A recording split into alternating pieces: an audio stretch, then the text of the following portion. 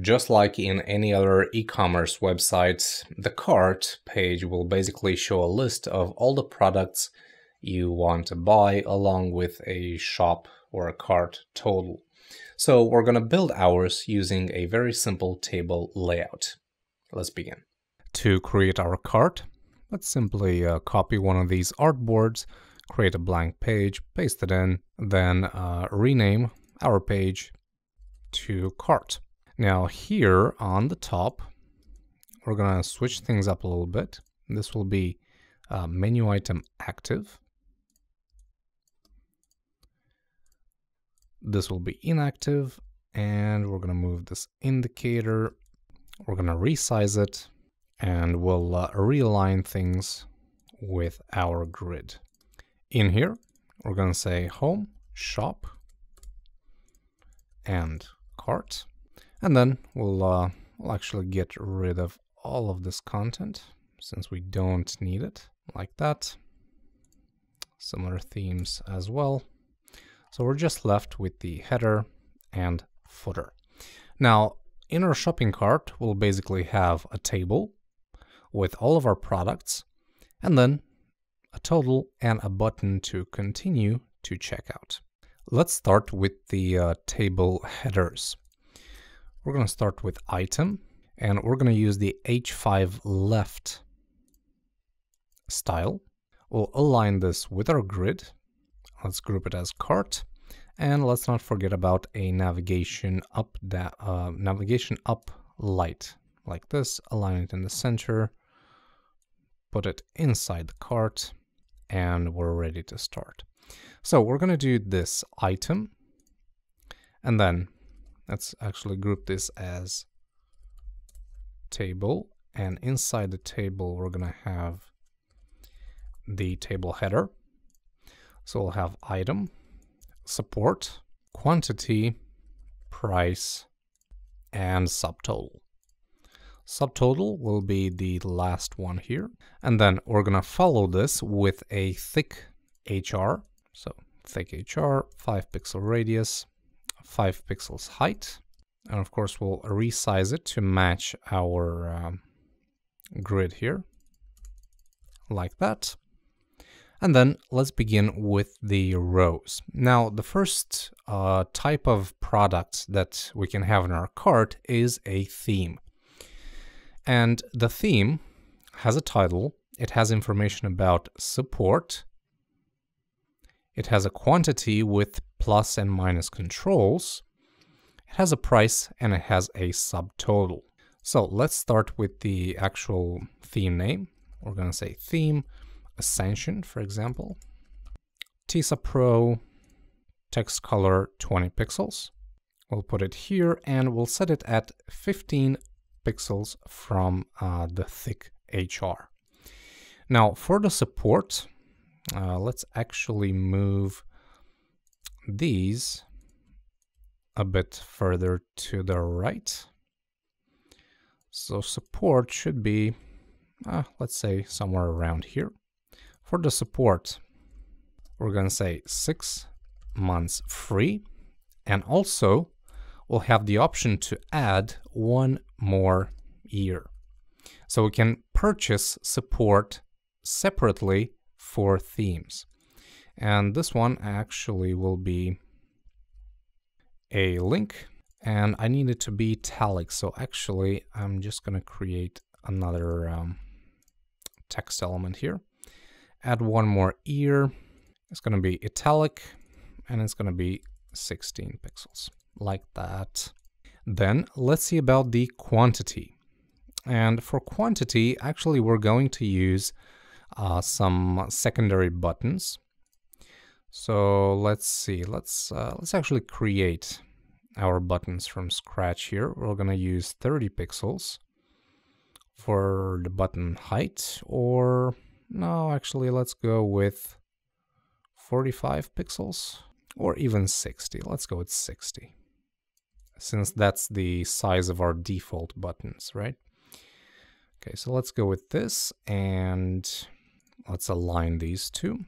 Let's use this style, add some rounded corners, make sure that we're using the correct 15 pixels distance or margin top.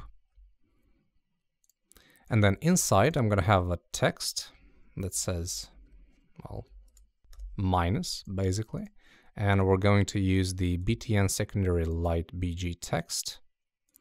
And if we want, we can actually use an underscore because it is slightly bigger. And we can go to type, convert text to outlines, and we can do this. All right, so this is BTN minus. And then we can create a BTN plus where we'll be using a plus sign there. We can even make these a bit bigger, for example, about 15 pixels in height, and we'll do 15 in width for this one. Okay, so that's much clearer. And then we need the actual quantity. So we're going to use this type of text. We're just going to say 1, and we're going to make it bold this time. And we're going to position it just like that. So 30 on each side. So that um, that is it for the quantity, basically. Let's see, we can actually bring these to the left a little bit. So there is room for uh, the price. And let's set these at about 90 pixels from the existing content there. Then we're going to have the price here. Let's position this at 60. And finally, we'll have the subtotal, which will be right aligned and it will be bold like this. And this is one row for a, a, theme, basically. So when you're buying a theme, this is what you get. So let's say row uh, theme. This here is thick HR. And as part of the row, we also need a line, a separator line. So the line should be 1186 light border color and we'll position it at 15 pixels from the buttons. All right, so that is one row.